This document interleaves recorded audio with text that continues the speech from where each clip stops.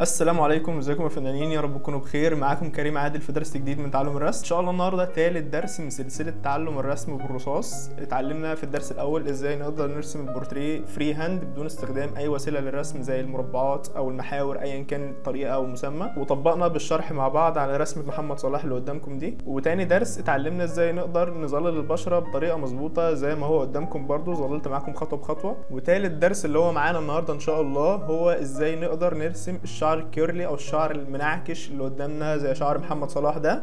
وكمان هنرسم الأذن والرقبة. لو ده أول درس تشوفه في السلسلة دي يبقى أنت فايتك درسين مهمين جدا وهو الدرس الأول بتاع ال outline والدرس الثاني بتاع التظليل. هتلاقي اللينكات بتاعتهم في ال description box تحت هسيبهم عشان تشوفهم. وما تنساش تطبق عليهم وتبعت لي النتيجة بتاعتهم على الإنستا بتاعي أو على الفيسبوك. هسيب لكم برضو اللينكات في ال description box تحت عشان تبعتوا لي النتيجة عليها. واللي حابب يستفسر عن أي حاجة يكلمني وتواصل معايا. وقبل ما نبدأ كالعادة بفكركم يا شباب توقفوا الفيديو بس لمدة ثانيتين وتنزلوا تحت الفيديو تدوسوا على زر اللايك هتلاقوه تحت الفيديو بالظبط. ولو أنتوا لسه ما اشتركتوش في القناة اشتركوا وفعلوا الجرس عشان توصل لكم اشعاراتي باستمرار. وعشان ما اطولش عليكم يلا بينا نبدأ. في البداية فنانين لازم نعرف إن الأذن هنا سهلة جدا لأن الشعر مغطيها زي ما أنتم شايفين من الجزء اللي فوق فمش كلها باينة. فبالتالي بيكون أسهل من الأذن اللي كلها باينة. وطبيعي أصلا الأذن ما فيهاش أي حاجة هي عبارة عن خطوط. زي ما أنتم شايفين الخطوط الكام خط اللي جوه عبارة عن خطين أو ثلاثة بنعمل الخطوط الأول بقلم 2 H زي ما عملناها في أول درس. وبعد كده بنبدأ ندرج الخطوط دي من غامق لفاتح مش شايف فيها أي صعوبة. أي حاجة محتاجة تتمسح في المناطق الصغيرة شباب زي ما إحنا متعودين بنستخدم أستيكة مونو زيرو دي اسمها أستيكة مونو زيرو عشان مشهورة جدا طبعا وكلنا عارفينها. واللي مش متوفر عنده الأستيكة دي ممكن يستخدم أي أستيكة تانية تكون صغيرة. أه بستخدم قلم 2 H أو HB في التحديد أكتر للخطوط اللي أنا قلت لكم عليها. ببدأ احدد الخطوط بالراحة جدا. وبعد ما احددها ببدأ أدرجها من غامق لفاتح طبعا التدريج إحنا اتعلمناه مع بعض في الدرس اللي فات بتاع التظليل اللي إحنا ظللنا بيه الوجه كله. زي ما أنتم شايفين كده أنا استخدمت الاقلام الرصاص في تظليل الوجه كله خطوة بخطوة معاكم في الدرس اللي فات. أهو بدأت أجيب قلم الدمج أو قلم التسييح زي ما زي ما إحنا بنقول عليه وبدأت أدمج بالراحة خالص أو أسيح الخطوط دي أو أدرجها بالراحة خالص من غامق لفاتح لو أنت مش حابب تسيح وده الأفضل ده اللي أنا بقول عليه دايما الأفضل إنك تشتغل بدون تسييح إنك تمسك القلم الرصاص وتشتغل بيه بدون تسييح لكن أنا واجب عليا إن أنا أشتغل في الفيديوهات بالطريقتين وكل شخص يختار الأنسب ليه. ومع ذلك أنا لازم برضه أقول النصيحة إن الأفضل كذا كذا وأنت برضه تختار طريقك. فأنا شايف إن الأفضل أنت تظلل من غير ما تستخدم التسييح أي حاجة شايف محتاجة اعمل لها إضاءات أو أي حاجة بستخدم استيكه المونو زيرو زي ما أنتم شايفين. بتمسح التفاصيل الصغيرة جدا بسهولة. أي حاجة محتاجة تحدد بالقلم الرصاص بحدد الخط الخارجي للأذن. زي ما أنتم شايفين أنا بكام خط بالظبط أو بكام تدريجة بالظبط شكل الأذن بان ظهر. يعني يعتبر ما عملش حاجة. فلذلك إحنا بنقول من أسهل المناطق اللي بتتظلل في البورترية هي الأذن. رغم إن في فنانين كتير ما بيحبوهاش وبيفتكروها صعبة أو بيعتبروها صعبة. أنا ما أعرفش ليه بس أنا من وجهة نظري هي من أسهل الحاجات في البورترية أو من أسهل المناطق يعني. أنا عن نفسي بنساها يعني بنساها في البورتريه بسيبها آخر حاجة لأنها شايف انها ملهاش لازمة سهلة جدا. دلوقتي هاجي بالقلم ال soft pastel الابيض القلم الباستل الأبيض اللي هو الفابر كاستل اتكلمت عنه في الدرس اللي فات اللي عملنا بيه الإضاءات. ببدأ أعمل أي إضاءة في الأذن. طبعا لأننا عارفين أو أنا زي ما قلت المرة اللي فاتت في إضاءة جاية في الوجه آه كله إضاءة فلاش ايا كان آه من التصوير يعني. فبالتالي الإضاءة ديت أنا شغال على ورق رمادي. فهضطر أستخدم قلم باستل طيب لو أنا شغال على ورق أبيض يبقى مش لازم أستخدم قلم باستل لو أنا شغال على ورق أبيض يبقى already أصلا الورق أبيض فملوش لازمة القلم الباستل لكن لو أنتوا شغالين زي على ورق رمادي بنستخدمه في اللي إحنا نعمل بيه الإضاءات اللي أنتوا شايفينها دي. بس يعتبر كده إحنا خلصنا الأذن زي ما أنتم شايفين. ما فيش أي حاجة عملناها. هي حاجات بسيطة جدا جدا جدا. آه كل اللي بعمله دلوقتي إن أنا ببدأ أدرج بقى الخطوط دي الخطين اللي هم جوه زي ما أنتم شايفين. لو في أي درجة غامقه داكنه زي ما أنتم شايفين كده بعملها بالقلم الستيدلر ال black القلم ده اسمه 8B ستيدلر black. اتكلمت عنه في الدروس اللي فاتت كتير واتكلمت عنه في أول درس وفي تاني درس. مهم جدا جدا جدا وده اللي هنعمل بيه الشعر كله.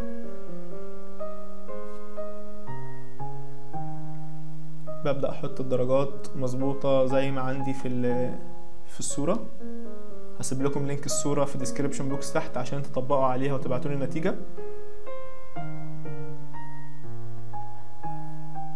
النتيجه ما تنسوش تبعتوا لي النتيجة بتاعتكم على الانستا بتاعي أو على الفيسبوك. هسيب لكم برضو اللينكات في ال description box تحت.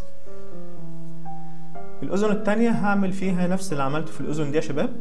آه، الموضوع مش صعب خالص فعشان نسرع الموضوع أكتر تعالوا نسرع الفيديو عشان نخش في التقيل بقى وهو الشعر.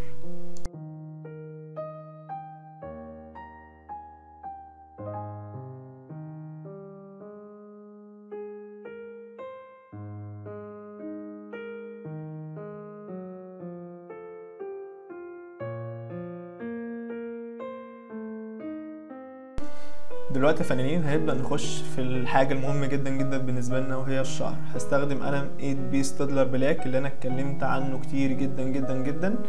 ولازم أحط ورقة بيضة تحت إيدي زي ما أنتم شايفين كده علشان اللي أنا عملته في الوش أو في الوجه ما يبوظش مني وأنا بظلل كل اللي هعمله همسك القلم ال 8 B black وهبدأ أعمل آه، شكل دواير زي ما أنتم شايفين كده. شكل دواير بسيط جدا جدا جدا مش صعب خالص.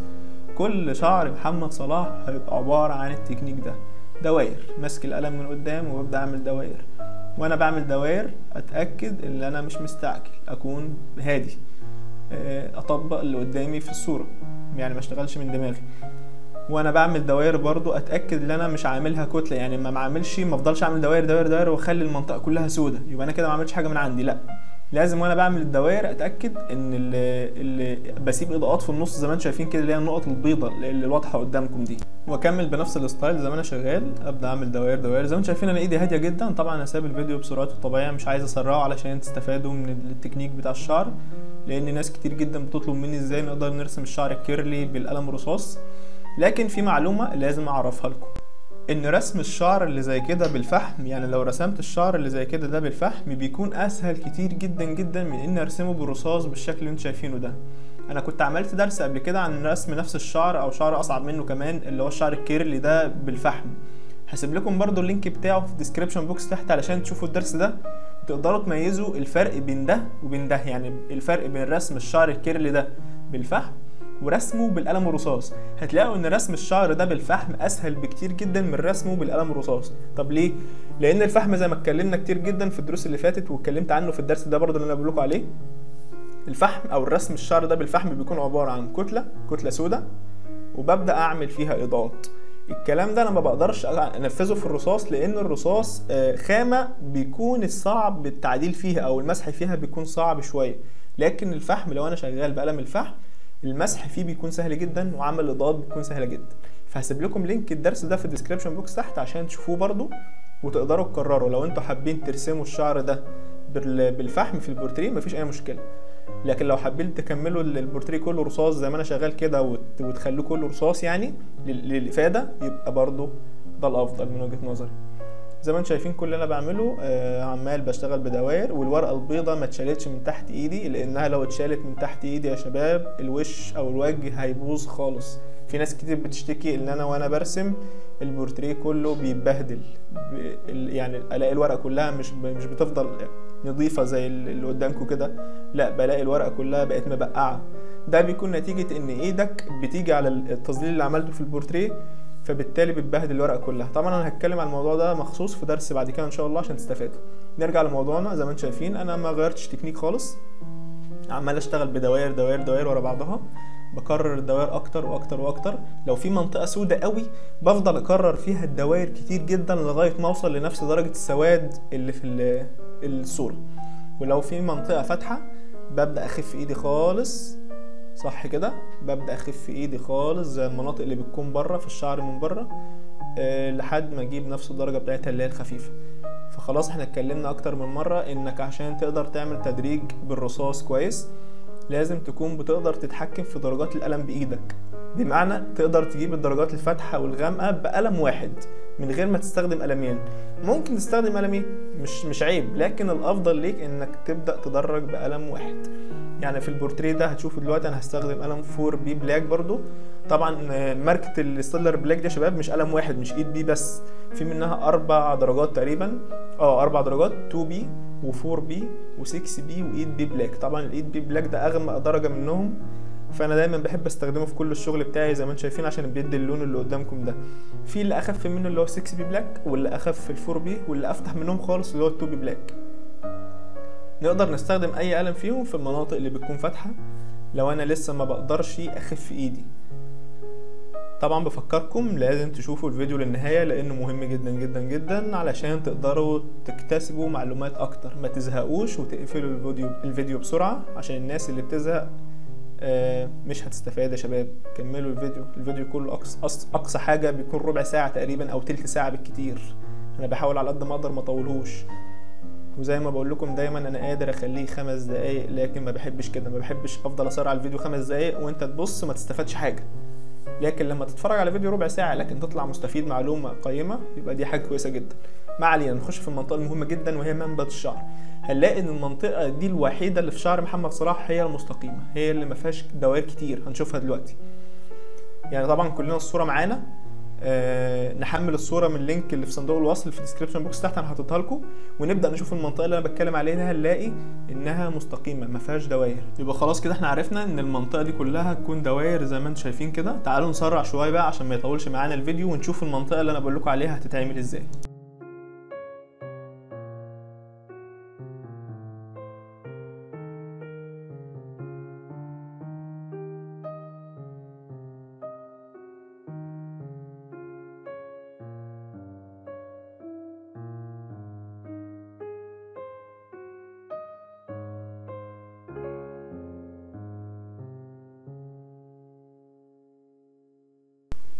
نيجي دلوقتي يا شباب آه، للمنطقة اللي أنا بقول لكم عليها المهمة جدا وهي المنطقة اللي في نص الشعر. دلوقتي أنا خلصت المنطقة اللي على الشمال كلها زي ما أنتم شايفين كده بالدوائر. دلوقتي هاجي في المنطقة دي وكل اللي هعمله هعمل خطوط بالطول زي ما أنتم شايفين كده. شايفين؟ خطوط بالطول.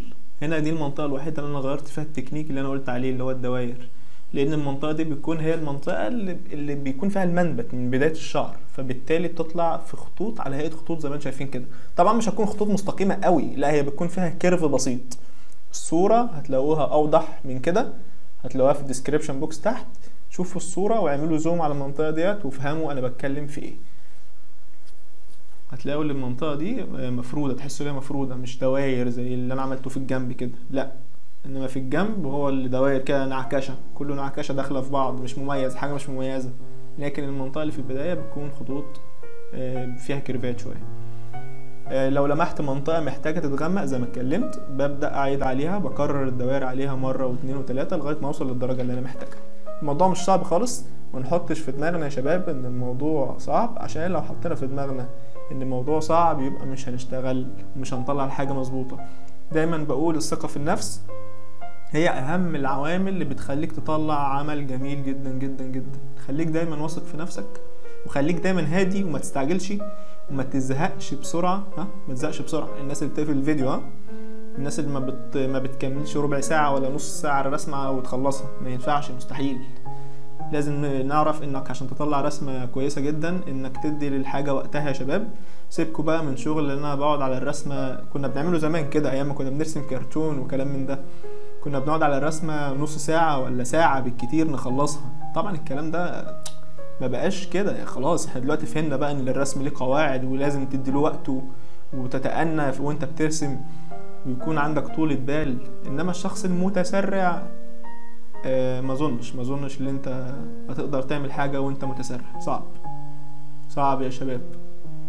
أنا ما عليا إلا النصيحة. دايما بحاول بحب أقدم النصيحة المظبوطة. اللي أنا شايفها من وجهة نظري مظبوطة. واللي أنا بعملها في, في, في مسيرتي أو في طريقي أنا بعملها. فلازم أقدمها لكم. أنت ليك إن أنت تاخد بالنصيحة أو ما تاخدش. فدي حاجة ترجع لك أنت. زي ما أنتم شايفين أنا طبعا بتكلم خرجت عن الموضوع شوية لأنه كلام مهم شوية. نفس التكنيك ما اختلفش في أي حاجة. أه ما أظنش إن في أي اختلاف في اللي جاي. الاختلاف بس اللي أنت في في المنبت اللي فوق ده زي ما أنتم شايفين كده استخدمت قلم 6 B black اللي هو الأفتح. عشان أقدر أعمل المنبت من فوق أفتح في اللون شوية فاهمين؟ الدرجة بتكون أفتح شوية. فالموضوع سهل جدا يا شباب ما تزهقوش وخلوكوا كده صابرين كده. تعالوا نسرع برضو عشان الفيديو ما يطولش معانا إحنا كده دخلنا في ربع ساعة فيلا بينا نسرع شوية. اوعوا تقفلوا الفيديو عشان لسه في عندنا رقبة. اوعوا تقفلوا الفيديو. يلا بينا.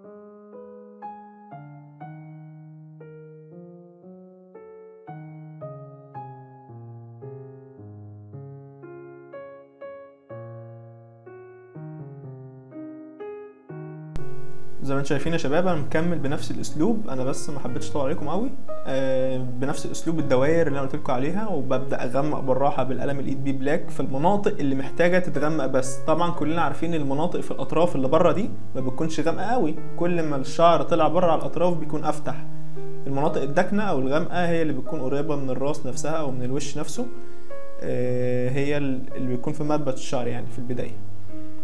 فهنكمل بنفس التكنيك وعشان ما أطولش عليكم هنخش مع بعض في الرقبة بسرعة لأن إحنا وصلنا ل 16 دقيقة دلوقتي فمحدش يقفل الفيديو. خليكم معايا للآخر.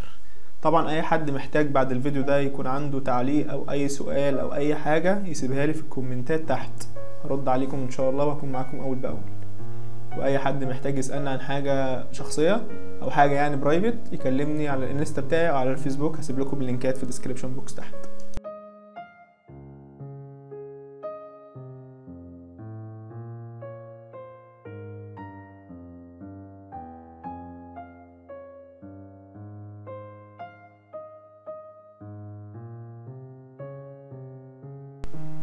بالنسبة للمنطقة بتاعت الرقبة يا شباب أنا سرعت الفيديو لأن المنطقة ديت نفس المنطقة اللي إحنا عملناها في الوجه يعني نفس التظليل أو التكنيك اللي عملناه في البورتريه. أنا ببدأ بس أحدد الأول الخطوط اللي بره بتاعت الميدالية أو بتاعت التيشيرت عشان لما أجي أظلل التظليل ما يخش في بعضه يعني. ببدأ بقلم ال HB بالراحة خالص أظلل بنفس التكنيك اللي استخدمته في البشرة في الدرس اللي فات في تاني درس. أفكركم إن الدرس اللي فات أو الدرس اللي قبله موجودين في ال description box تحت اللينكات بتاعتهم عشان تتابعوهم. وتعرفوا إزاي تقدروا تظللوا بالقلم الرصاص بالشكل اللي أنتم شايفينه ده. الموضوع بسيط جدا. معتمد بس إنك تقدر تتحكم في إيدك زي ما أنا بتكلم على طول. إزاي تقدر تغمق تغمق وتخفف بإيدك عن طريق الضغط وحسيت الإيد عموما يعني. لو محتاج أدمج أو محتاج أسيح الخطوط شوية بستخدم ودانة زي اللي قدامكم دي. أو عود قطن عواد القطن زي ما إخواتنا اللي من بره مصر بيقولوا عليها. وببدأ بقلم الباستل أعمل الإضاءة اللي إحنا اتعودنا عليها بسبب الفلاش أو بسبب ايا كان مصدر الإضاءة اللي موجود في الصورة. لما باجي أعمل إضاءة شباب بعملها في المنطقة اللي فيها إضاءة بس. يعني ما أجيش بقلم الباستل ده فرشه في المنطقة كلها لأن من عيوب قلم الباستل ده إن أنا لما أجي أعمل عليه رصاص بيتقل جدا وبيديني درجة مش كويسة خالص. بيبوظ اللوحة يعني. فبالتالي ما افرحش ان أنا ماسك قلم باستل بينزل ابيض وافضل اشخبط بيه. لا لازم اتاكد وأنا شغال بيه ان أنا شغال مظبوط. نكمل بنفس القلم ال HB بالراحة خالص. طبعا التكنيك بتاعنا بتاع التظليل ده زي ما استخدمنا مثلا في الخد أو في الجبهة المرة اللي فاتت هي بدرجة 45 درجة. بظلل بدرجة ب... ب... القلم بيكون مايل بدرجة 45 ببدأ أظلل بالراحة خالص وأنعم وهكذا. ومع لو في منطقة غامقة ببدأ أمشي القلم عليها أكتر من مرة. بكده فنانين نكون وصلنا لنهاية الدرس بتاع النهاردة وهو ده تالت درس في السلسلة بتاعة تعلم الرسم بالرصاص. إن شاء الله الدرس اللي جاي هيكون آخر درس في السلسلة دي وهنخلص فيه البورتريه ده وهيكون مهم جدا جدا لأن في حاجتين أهم من بعض أو ثلاث حاجات كمان. أول حاجة وهي إزاي نقدر نظلل الأسنان اللي قدامكم؟ لو تلاحظوا إحنا خلصنا البورتريه كله لسه أسنان زي ما هي بنفس لون الورقه وهن... وهنتعلم كمان إزاي نقدر نظلل الايد ودي من الحاجات المهمة جدا واللي بتسأل عليها كتير جدا جدا. وهنتعلم برضو إزاي نقدر نظلل الملابس اللي هو التيشيرت ده وده برضو من الحاجات المهمة جدا واللي بتسأل عليها كتير. فعندنا الدرس اللي جاي ثلاث حاجات مهمة جدا جدا. لو أنت لسه بتمتحن عندك امتحانات مش فاضي تطبق مفيش مشكلة آه اتفرج على الدرس وافهم بس في الربع ساعة دي. وإن شاء الله لما تخلص امتحاناتك على خير ابدأ طبق وابعت لي في أي وقت أنا فاضي معاكم وموجود دايما في أي وقت.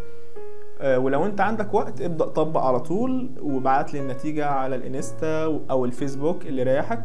إنما لازم تطبق علشان تستفاد. يبقى الدرس اللي جاي إن شاء الله هيكون آخر درس في السلسلة وهو رابع درس. أتمنى يا رب تكونوا استفدتوا. ما تنسوش تعملوا لايك على الفيديو ده من تحت. ولو أنتوا لسه ما اشتركتوش اشتركوا وفعلوا الجرس عشان توصل لكم إشعارات دروسي كل يوم. ودمتم بخير. والسلام عليكم ورحمة الله وبركاته.